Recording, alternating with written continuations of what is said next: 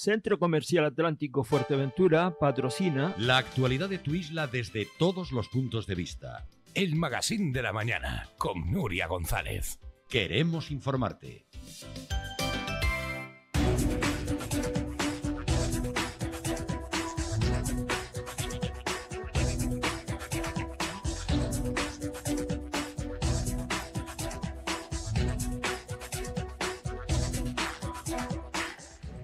Bueno, estamos de vuelta y nos vamos a ir hasta Betancuria y en Betancuria vamos a hablar con el representante Enrique de Coalición Canaria que vuelve de nuevo a presentarse con la intención de liderar pues un ayuntamiento en el que hay muchas cosas todavía pendientes. Muy buenos días, bienvenido. Buenos, buenos días, Nuria. Muchas gracias. Bueno, vamos a hablar de cómo está primero la situación de Betancuria actualmente. Bueno, actualmente la situación, no sé si te refieres económica o una situación... Las necesidades, ¿no? Donde ustedes quieren incidir.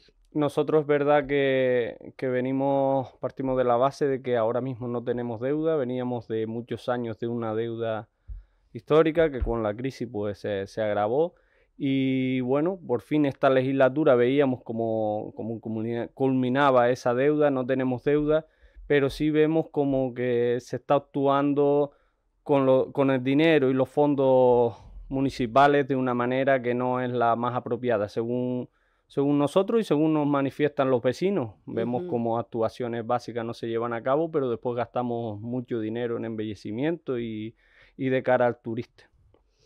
Es decir, que actuaciones básicas, pues por ejemplo, en servicios de ayuda a domicilio, de atención a los vecinos. Sí, de todo ese tipo, Nuria. Vemos como en servicios sociales eh, todo el dinero que se ponga es poco, vemos como, como hace mucha falta y, y, ahí, por ejemplo, se invierte poco. También veíamos, por ejemplo, como ya no hace falta inversión municipal, a lo mejor en ese sentido, tanta inversión municipal me refiero, sino estar más atento y captar las ayudas que se pueden captar, pues tanto sea del Cabildo, del gobierno de Canarias, veíamos como ahora el otro día pedimos la información hace prácticamente dos meses, todavía no nos las han facilitado, pero veíamos que que nos preocupaba bastante que se perdía una subvención de 15.000 euros en servicios sociales.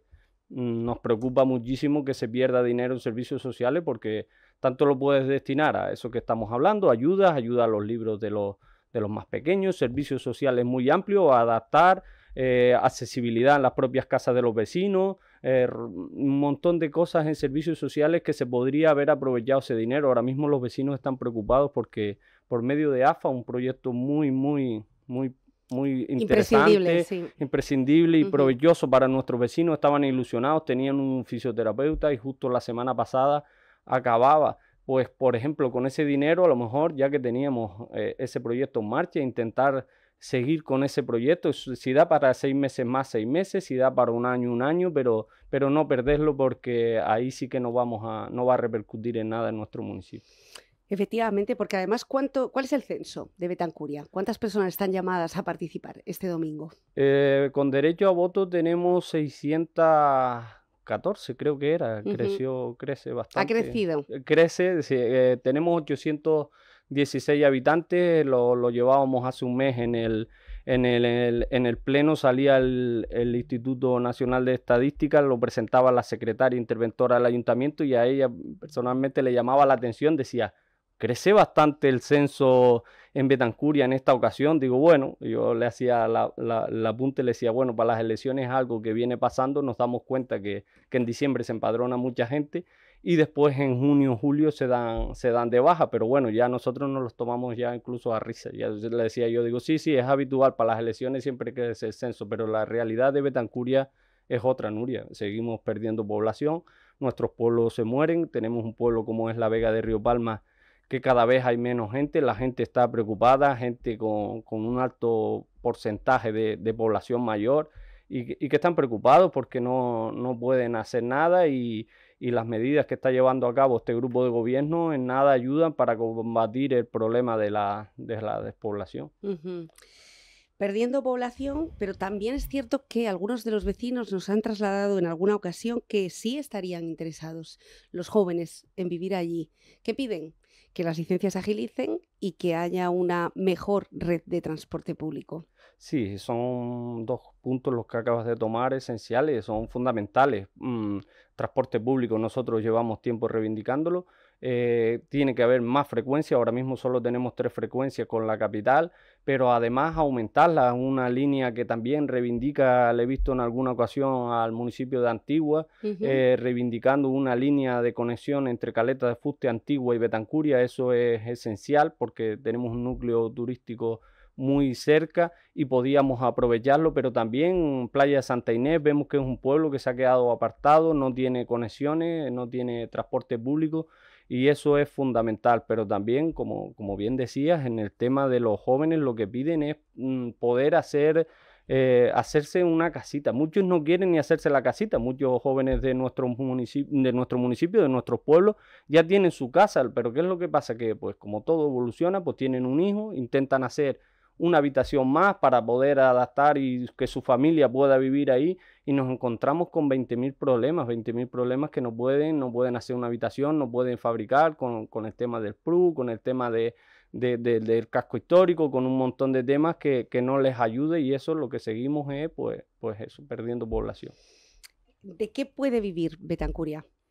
Betancuria podría vivir fácilmente como, como así vive una parte, pero si lo, lo potenciáramos, lo ayudáramos del turismo, está claro que, no, que nos llega. Pero también tiene que vivir y no solo a lo mejor eh, que dé trabajo para vivir. Los vecinos nos están pidiendo, muchos tienen su trabajo. Eh, volvemos a lo mismo. Eh, lo que piden es a lo mejor que, y nosotros lo reivindicamos así, que pudiéramos ser, sabemos el problema de vivienda tan, tan grave que hay en Fuerteventura, en toda Canarias pero también en Fuerteventura y, podíamos intentar hacer del municipio de Betancuria, sobre todo para la gente que vivimos allí, los que quieran venir, un municipio como Tuiné, que sabemos que es un municipio dormitorio, un municipio que la gente vive y está allí, pero después trabaja en el municipio de Pájara o trabaja en otros municipios, en el sector de la hostelería y demás. Pues Betancuria podría, podría también vivir de, en ese sentido. Pues vemos que hay muchísimos problemas en el resto del municipio de vivienda y después en Betancuria, Betancuria municipio hay muchísimas viviendas cerradas porque, porque la gente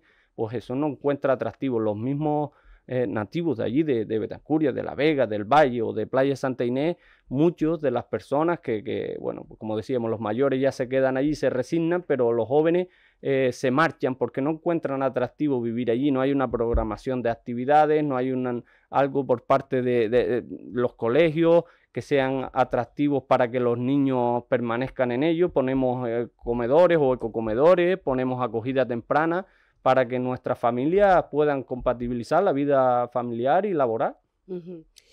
Bueno, efectivamente hay viviendas cerradas y es un clamor eh, el hecho de que hay algunas personas jóvenes, claro que sí, que quieren seguir apostando por el sector primario, pero es cierto que el hecho de el suelo tan protegido, los parques naturales, etcétera, etcétera, lo hacen prácticamente imposible. La isla está demasiado protegida en su suelo, que me perdonen aquellos que piensen que pues, esto pueda atentar. Pero claro, es que sin, sin crecimiento de suelo, de casas o de suelo que se pueda cultivar, ¿cómo vamos a retener a la gente joven en estos proyectos en zonas tan aisladas? En Betancuria, por ejemplo, nosotros estamos de acuerdo, el parque rural es necesario, no podemos, y en Fuerteventura en general, eh, a nadie se le esconde que Asamblea Majorera, Coalición Canaria, eh, pues una de las principales medidas que tenemos es la protección del territorio, porque, porque lo hemos visto, hemos visto lo que ha pasado en otras islas y no queremos que, en ese sentido eh, cometer el mismo, el mismo error que han cometido otras islas, masificar, perder nuestra esencia, perder nuestra idiosincrasia. Mm, si, si nos volvemos locos masificando, Nuria, ahora mismo la generación esta, como digo yo, que llevamos, que ha sido el desarrollo tan brutal que hemos tenido, hemos visto muchas actuaciones, tanto en, Fuerteventura como en el resto de Canarias, perjudiciales para, para, para, las islas. Hemos visto cómo se han quedado obras, urbanizaciones a medias. Entonces, por ejemplo, un caso como lo de lo que queríamos hacer con el Dreamland, bajo mi punto de vista, un, un error que, que, si se hubiera hecho en esa ubicación hubiera sido un error total, porque no nos lo podríamos per perdonar ni nuestras generaciones, ni nuestras familias, ni nuestros hijos, ni nuestros nietos, porque eh, consumir ese, ese tipo de terreno para un proyecto y la verdad que, que, deja mucho que, que, desear. Que cuando ¿Qué le parece a usted, Enrique, que se haya ido a Gran Canaria? Parece ser que va a ser aprobado pues creo que hoy o mañana en el Pleno del Cabildo como declarado proyecto de interés insular. Definitivamente el Dreamland, como titulábamos este fin de semana, se marcha para Gran Canaria. ¿Qué le parece esta noticia?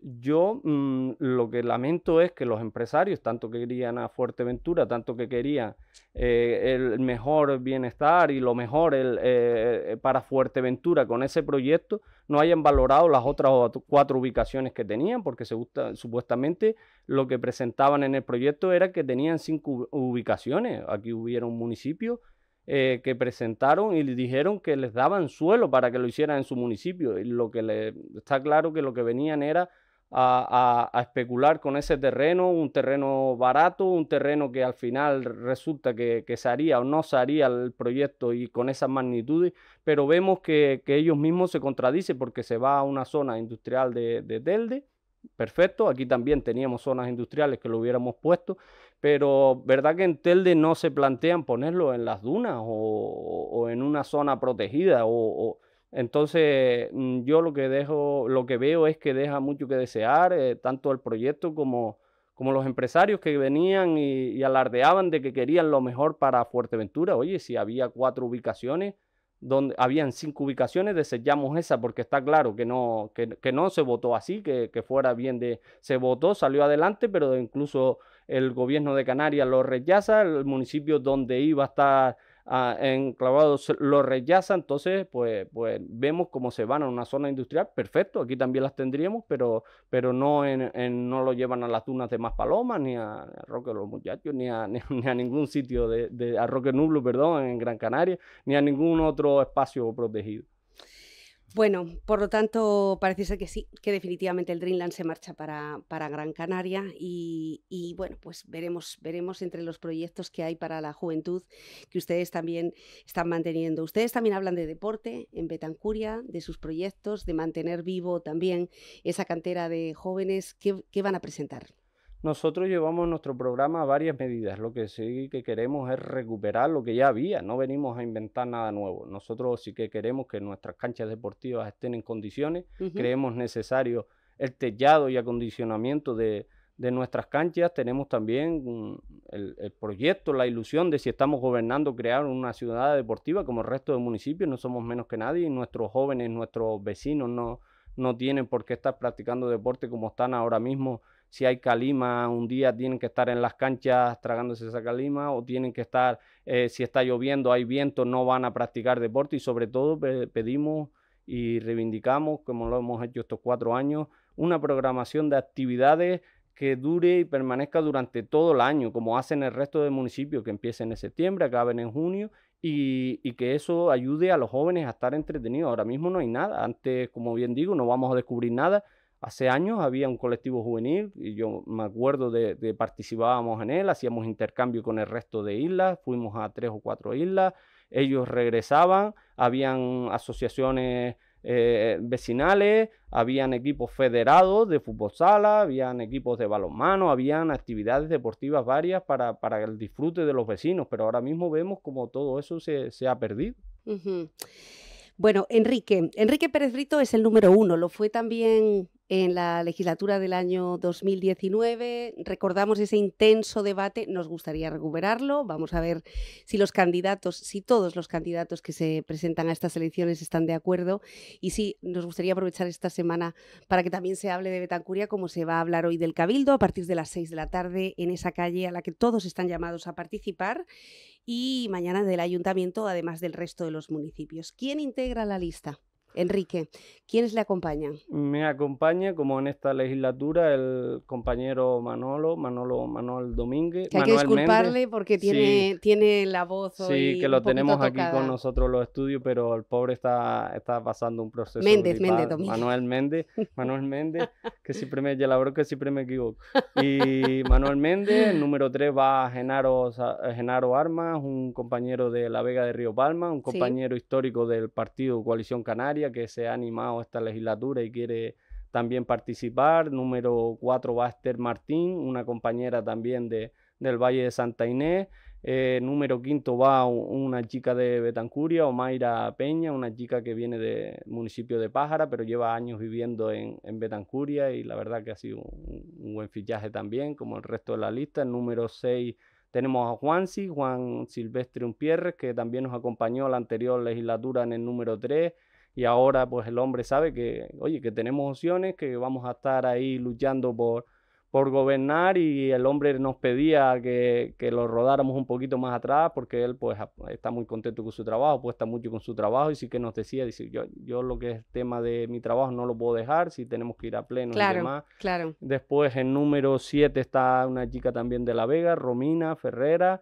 Número 8 es Juan Carlos González, también un histórico del partido Coalición Canaria. Y número 9, una chica joven, y Tania Cerdeña, que también se anima a participar con nosotros. Todos ellos viven en el municipio. Sí, sí. Conocen sí, palmo a palmo todas las necesidades. Sí, ¿no? sí, sí. No, no, es fácil sacar una candidatura en Betancuria. La verdad que por, por nuestra parte eh, lo hemos tenido un poco más fácil, enseguida se apuntaron, son gente, tanto ellos como los que concurrieron las anterior, anteriores elecciones con nosotros, también están participando en el Consejo Político Local y tenemos un magnífico grupo, ya lo decía el otro día en la presentación, un magnífico grupo que, que, estamos muy orgullosos y que no es ni Enrique Pérez ni Manolo, aquí no hay personalismo, aquí es Asamblea Majorera, Coalición Canaria, muchos de ellos son históricos ya, incluso antes que nosotros y, y aquí sí. Bueno, efectivamente yo creo que estaremos todos de acuerdo ¿no? en que conformar una lista en, en un lugar como Betancuria es difícil, es difícil. Tiene tres veces más mérito que en lugares que están muy concurridos y personas que apuesten por ello.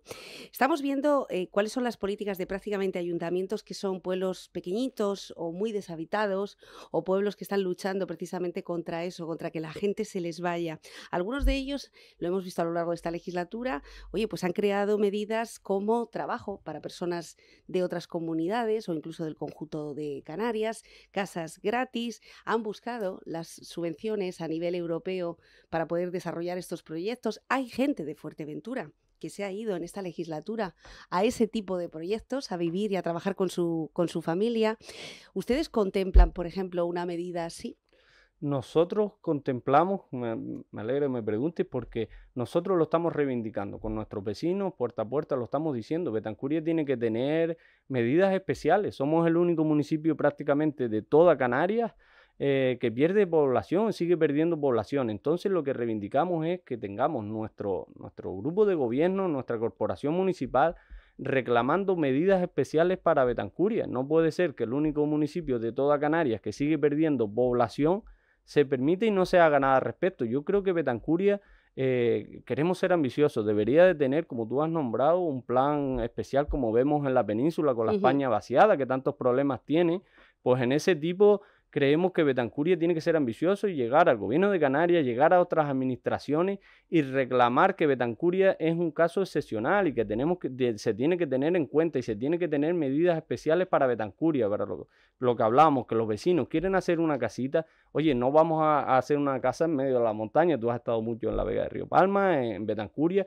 y sabes que la protección, eh, mismo los vecinos te la piden, pero sí es verdad que lo que hablábamos, casos especiales, un, una familia que tiene que hacer una habitación más, o que quiere adaptar su vivienda, o que tiene el, el suelo y no puede fabricar. Ahí tiene que tener, Betancuria tiene que tener un, tema especial, medidas especiales para facilitar eso, porque si no, Betancuria como municipio se nos va a perder. Ya tenemos pueblos muy graves como la Vega de Río Palma y no podemos seguir permitiendo que eso ocurra también.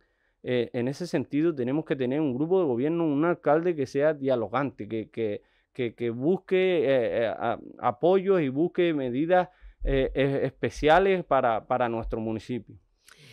Bueno, pues eh, que no nos lo estamos inventando. De hecho, hemos buscado qué han hecho en otros pueblos, por ejemplo, para repoblar y evitar que esas tierras, porque ya saben que cuando las personas y las familias desaparecen de los pueblos agrícolas y ganaderos, ese paisaje también pierde todo ese cuidado. Y hemos visto cómo en Asturias, por ejemplo, en mi tierra, en un pueblito llamado Ponga, han ofrecido 3.000 euros, por ejemplo, a cada familia que se quedara, que se quedara o se decantara por estas tierras para empezar a reconstruir casas que se estaban cayendo o en Cuenca se han subastado terrenos o en Castellón directamente para traer eh, a esos residentes se les cobraba simplemente 50 euros de alquiler. En Pontevedra también vivir a un coste muy reducido, casas a 100 euros, por ejemplo, en Teruel, familias con hijos en edad escolar para llenar las escuelas y evitar que esas escuelas cerraran. Es decir, hay toda una red de medidas que se han llevado a cabo por parte de ayuntamientos de toda, toda España que perfectamente se pueden emular, ¿no? Y copiar. Ojalá llegue, llegue ese momento y se pueda ofrecer. Además, bueno, Fuerteventura es una isla multicultural y sobra decir lo hospitalaria y gentil que es la gente majorera con las personas que han decidido elegir este lugar.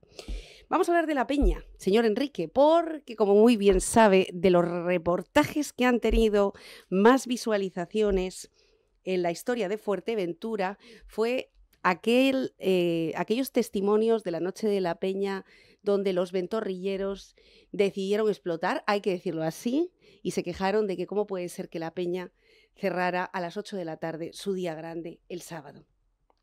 Sí, ahí... ¿Qué van a hacer ustedes? ¿Aprendieron de esos testimonios también? Sí, claro. Eh, no, no, hizo falta llegar a, ese día para nosotros saber que era un, tema que los vecinos estaban reivindicando. Yo recuerdo que en junio, julio, nosotros solicitamos al consejero Raico de León y Jonathan Hill que fueran a una reunión con los vecinos de Betancuri y escucharan, con los vecinos de la Vega de Río Palma, en Betancuri en general, pero con la Vega de Río Palma, fueron varios vecinos, se acercaron y es verdad que le hicieron llegar esas demandas a, a, los propios consejeros. En esa reunión ellos pues escucharon, es verdad que, llegaba un poco tarde, nuestro grupo llevaba menos de un año en el gobierno y nos dijeron ya, mira, ya está casi todo planificado para este año, pero la intención era esa, bueno, después en diciembre no nos cesaron y es verdad que sabemos que para esta, para esta próxima edición sabemos que ya están bastante avanzados. Hemos visto notas en las que el ayuntamiento y el cabildo se han reunido y me imagino que tienen, porque han hecho, lo han hecho los públicos, que tienen bastante avanzado el programa de la peña. Vamos a ver si también han incidido en esos problemas que reclamaban los vecinos o, nos van a mostrar más de lo mismo. Nosotros en esa reunión, Nuria, lo que te dicen los vecinos, pues es verdad, eh, que quieren recuperar la romería que sea el sábado para darle con el Día de los Mayores siempre se hace el sábado, pues poner la romería el sábado para poder tener un poco más de actividades el sábado, eh, es, fundamental, nosotros también creemos que sí. Eh, también la festividad del día sábado te lo, te lo piden mucho los vecinos, lo que es los vecinos del municipio y sobre todo los de La Vega, que son los, que, los que más conocen la fiesta porque la han vivido durante muchos años y yo creo que en ese sentido hay que llegar a acuerdos, da igual el color político que sea, da igual quién esté gobernando en el ayuntamiento o en la posición. Es que es la patrona insular. Claro, ahí tenemos que llegar a acuerdos, todos los municipios se deben de implicar en la, corporación insular y escuchar a los vecinos, que al final son los que vienen a decir, nosotros hicimos esa reunión y recuerdo que un mes después las críticas del grupo de gobierno sobre el señor alcalde, más concretamente nos, decíamos, nos decían que queríamos aparentar, decían, van allí para intentar aparentar, no vamos a aparentar nada, lo que queremos es escuchar a los vecinos y era el consejero el que llevaba el área y el, consejero Jonathan también de transparencia y, participación ciudadana y Raico de León y lo decíamos, queremos escucharlos a ustedes, no íbamos a intentar aparentar nada porque decía que nosotros no podíamos organizar nada, no, no, pretendemos organizar nada, pretendemos escuchar a los vecinos, que es lo que llamamos falta, políticas de, de asamblea, de reunir a los vecinos y escucharnos que se tengan en cuenta. Sobre todo en un sitio como Betancuria, ¿no? Pero yo creo que ahí, además de lo que quieran decir los, los vecinos, que también los de Betancuria, que al fin y al cabo es el municipio que acoge, también tienen que hablar el resto de los vecinos de las islas, ¿no? Y también la corresponsabilidad, si me permite, de los municipios de no contraprogramar quizá fiestas el día de la patrona o que la patrona tenga alguna cosita más. Bueno, lo que sí ha crecido Betancuria es en el panorama gastronómico. Ustedes tienen actualmente algún restaurante más que al menos hace 15 años, pero parece que no ha terminado de reflorecer. Quizá es por los horarios de las guaguas, quizá es por la falta de, de bueno, pues de conexión. Es una montaña complicada acceder hasta ella, quizá es por eso por lo que retrae que el empresario no se anime en una zona mm. agrícola, en una zona ganadera. Sí, puede afectar también, pero yo creo que ahí lo que, lo que hace falta también es el impulso de la, de la administración local, intentar impulsar a, todos por igual. Veíamos como, como bien dice, eh, tenemos un cartel gastronómico bastante bueno en Betancuria tenemos varios locales, no quiero nombrarlos porque siempre se te queda alguno atrás, pero, pero da gusto porque te vas a, tienes variedad, puedes ir y disfrutar de, una buena comida, un buen ambiente en cualquier sitio de, del municipio, tenemos incluso premiados a nivel insular el año pasado en turismo y demás, y, y, vemos que hacen un magnífico trabajo, nosotros lo que sí reivindicamos un poquito más de por la parte que nos compete como, como administración local, eh, intentar favorecer a eso. El año pasado veíamos cómo salían unas subvenciones de, comercio del Cabildo Insular de Fuerteventura, salía una subvención de 15 mil euros y se destinaba en gran parte a, carteles, en carteles en el aeropuerto, carteles en, La Oliva, carteles en no sé dónde. La gran parte de la mayoría, el 90%, iba a publicidad. Y lo que decíamos, oye, si es que, que no hace falta inventar nada, fijémonos en lo que funciona con respecto a otros municipios al final de los 15.000 euros, eh, analizando dónde se gastó, eh, lo único que repercutió a los comercios fue 840 euros que, recibieron de bolsas, de bolsas de, papel para, para, los comercios.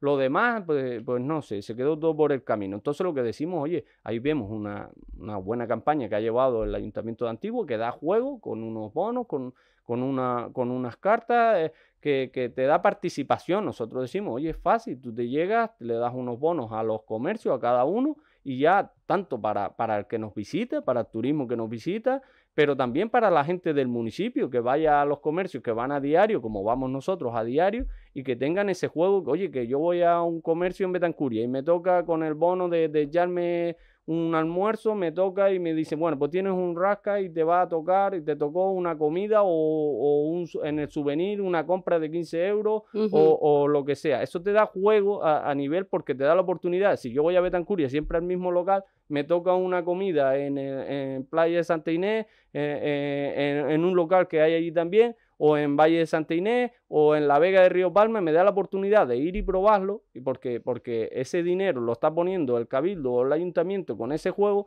y, mm, yo seguramente voy y lo pruebo y me gusta y repetiré, pero sin embargo, si no tienes esa oportunidad, pues, pues Ojo que el juego de las monedas mafasca antigua no funcionó.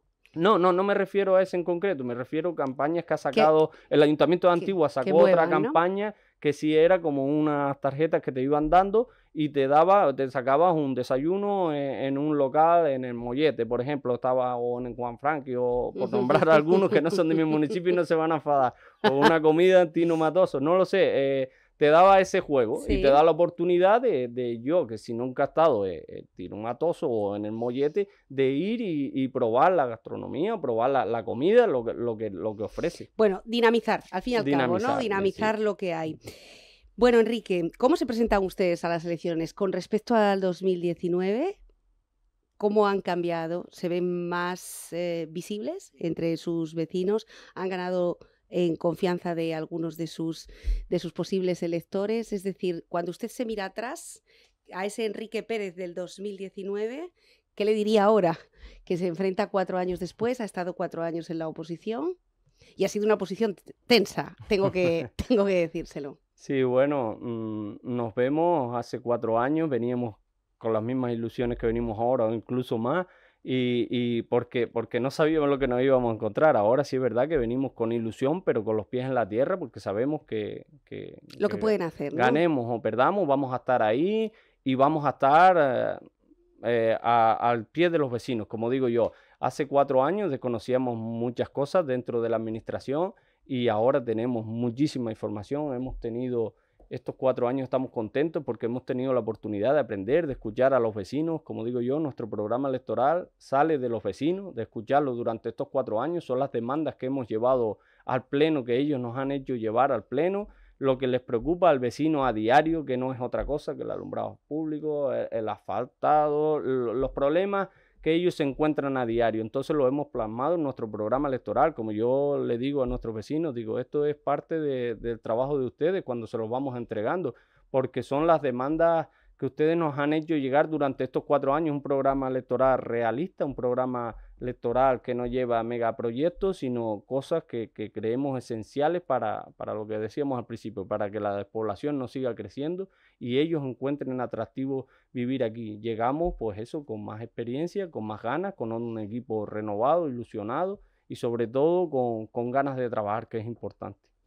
Bueno, pues este es el proyecto de Coalición Canaria en Betancuria, un partido que se presenta, pues eso, para dar respuesta a los vecinos y también para repoblar en la medida de las posibilidades, repoblar sin masificar, es decir, sin perder la identidad, pero para que Betancuria pues, pues no muera, ¿no? Siendo uno de los enclaves que además más gusta a todos nuestros, a todos nuestros visitantes.